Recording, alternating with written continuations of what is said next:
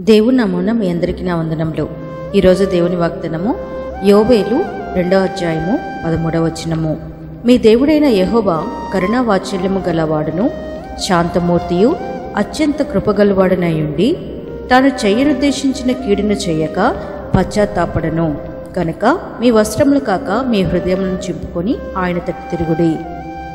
దేవుడు చాలా గొప్పవాడు. ఆయన మనపై ఎంతో కరుణను వాత్సల్యాన్ని చూపిస్తున్నాడు. మనం ఎంత పాపలమైనా కానీ మనల్ని క్షమించి ఆయన తన ప్రేమ చేత మన్ని రక్షించేవాడిగా ఉన్నాడు. అందుకనే ఇక్కడ ఏమంటున్నాడు? యహోవా కరుణావాత్సల్యము గల వాడు. అలాగే శాంతమూర్తి అత్యంత కృపగలవాడినై ఉన్నాడు అని చెప్పి ఉంది. చూడండి దేవుడు కరుణ గలవాడు శాంతమూర్తి అలాగే కృపగలవాడు కనుకనే మనం ఎన్ని పాపాలు చేసినా కానీ మనం ఎన్ని దోషాలు చేసినా కానీ దేవుడు మనని క్షమిస్తున్నాడు. మనపై కోపపడకుండా ఆయన యొక్క ప్రేమ చేత మనని ఆయన రక్షించేవాడిగా ఉన్నాడు. అంత మాత్రమే కాదు తను చేయనుద్దేశించిన కీడని చేయక పశ్చాత్తాపడును అని కూడా రాయబడి ఉంది. చూడండి మనపై దేవుడికి ఒకవేళ కోపం వచ్చినప్పటికీ ఆయన మనపై కీడు చేయాలి అనుకున్నప్పటికీ అది కూడా చేయకుండా ఆయన పశ్చాత్తాపడతాడంట. అయ్యో నేను నా బిడ్డని శిక్షించకూడదు. ప్రేమ చేతనే తనని నేను దగ్గర చేసుకోవాలని మళ్ళీ తనే పశ్చాత్తాపడి మనకి ప్రేమని పంచువాడిగా ఉన్నాడు. మరి ఇంత గొప్ప దేవుణ్ణి కలిగి ఉన్న మనము ఎంత ధన్యులమండి?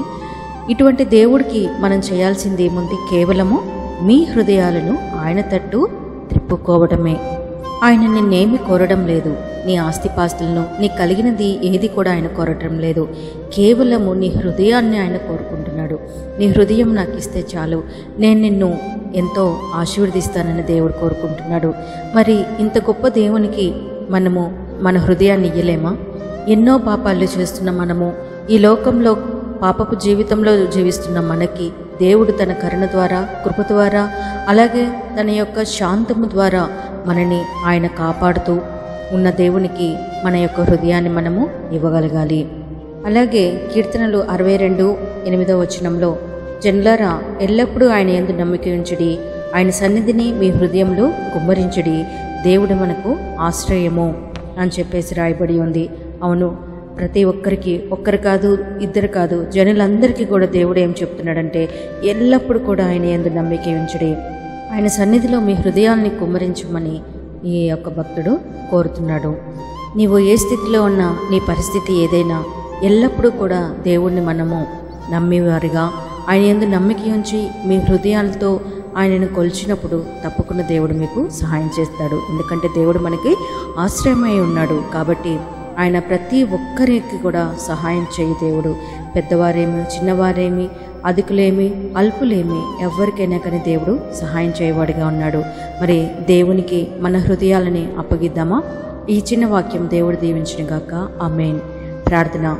ప్రేమామైడా నీ పాదలకి స్తోత్రం ప్రభా. నిజమే తండ్రి నీవు కృపగల దేవుడివి దయగల దేవుడివి శాంతమూర్తివి ప్రభా. అయా నాయన మమ్మల్ని కేవలం తండ్రి నీ హృదయం మాత్రమే పో. నీకు నేను సహాయం చేస్తానని అంటున్నావు ప్రభా.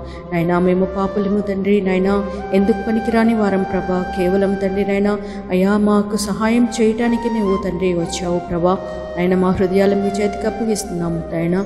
మాకు సహాయం చేయ ప్రభా. మమ్మల్ని కరుణించు మమ్మల్ని కాపాడు ప్రభా. నీ కృపలో మమ్మల్ని భద్రపరిచి సహాయం చేయమని ఏసునామని అడిగి పెడుకుంటున్నాం మా పరమ తండ్రి. ఆమెన్.